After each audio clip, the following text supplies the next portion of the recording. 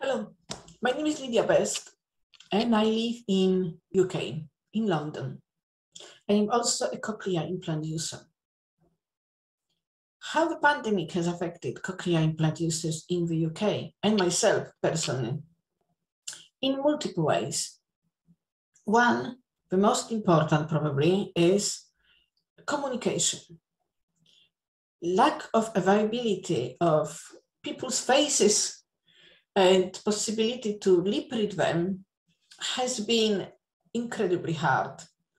I have been many times frustrated by the situation in just daily life.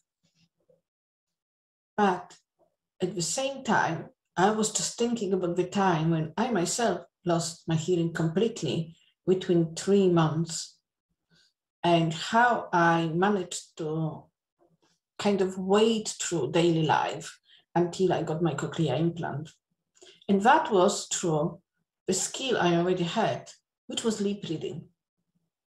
Imagine now being completely deaf or having um, very little hearing left, waiting for your cochlear implant operation and completely unable to function um, in the wider public because you cannot even lip read anyone. They are behind the face mask.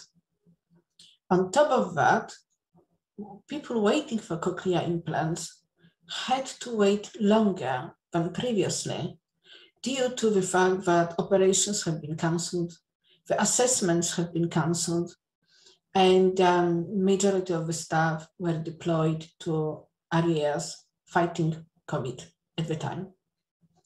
So this is my share of frustration and, um, and experiences of the pandemic on us.